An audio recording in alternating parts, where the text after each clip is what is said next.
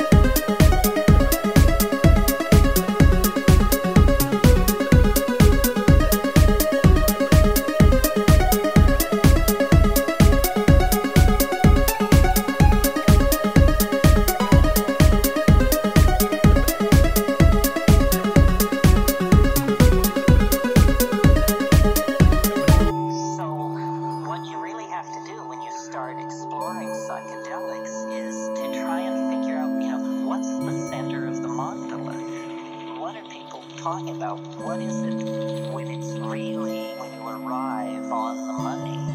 And to my mind, the compound